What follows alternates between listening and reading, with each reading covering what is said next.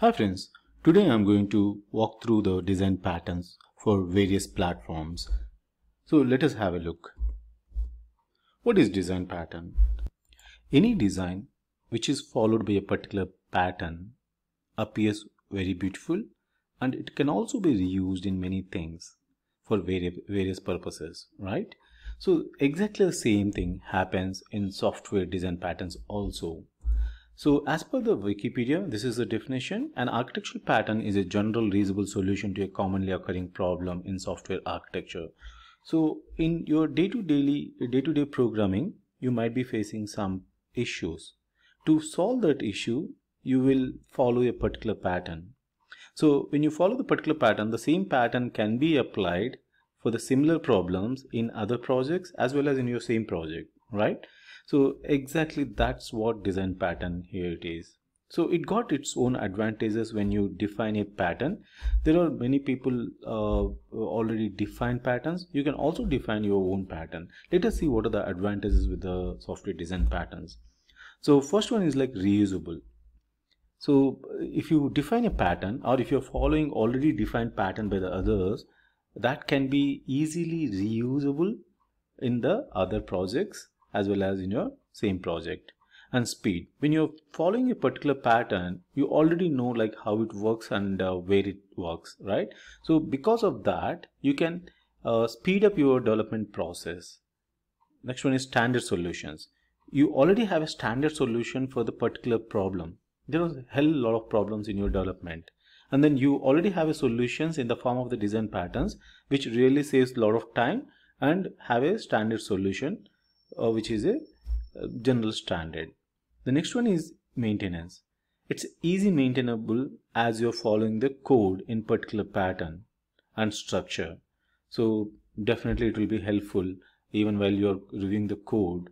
Uh, uh the code reviewer can easily understand how and where it was split or structured. Loosely coupled. Your code is uh, loosely coupled when you follow the design patterns. Because of that you can make the changes uh, without much affecting the other areas or where it was already used. That's the biggest advantage. So let us have a look on various patterns available. Here I listed down only few patterns but based on your requirement you can search for the other patterns as well. So first pattern is architectural patterns. As the name says it is architectural for the project level right say MVC, MVVM, MVP layered all these type of patterns can be used to well structure your project. And it will give you easy split between different type of layers.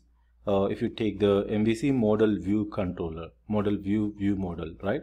So that will help you to clearly communicate between uh, various layers. Like uh, you have a controller you have a view and you have a model. Like how those communicate each other uh, based on the type of platform you can decide. For example if you are using uh, uh, ASP.NET MVC application then definitely you have to follow the MVC if you are using iOS iOS usually follow MVVM or MVC uh, whereas Android is used to follow MVC now I think they're also on MVVM so based on the type of project you have you're picking, you can decide your architectural pattern. So widely used architectural patterns are MVC, MVVM and MVP. The next patterns are creational patterns. As the name says, these patterns help you to create the objects in various ways. For example, if you take a singleton, a singleton will help you to create a single object for your entire project rather than creating number of objects whenever it is required. So each of this pattern will help you to create the objects in different mechanisms. The next pattern is structural patterns. So structural patterns is a design by identifying a sample simple way to realize relationships between entities. So there are plenty of patterns again here, adapter, bridge, composite and all. The next patterns are behavioral patterns. These Patterns are concerned with algorithms and the assignment of responsibilities between the objects. For example, if you are assigning some responsibility to a particular object and the uh, sequential objects will handle that request or it will pass to the next object. So creational, structural and behavioral patterns are related to your project code, whereas architectural pattern is related to your project level structure. So the next one is cloud computing. So even cloud computing has its own patterns. It got plenty of patterns. I have listed only few of them here. Ambassador, anti-corruption layer, event sourcing, uh, gatekeeper. These are the patterns which are used for various purposes. Few are for the data related patterns. Few are to maintain your servers always.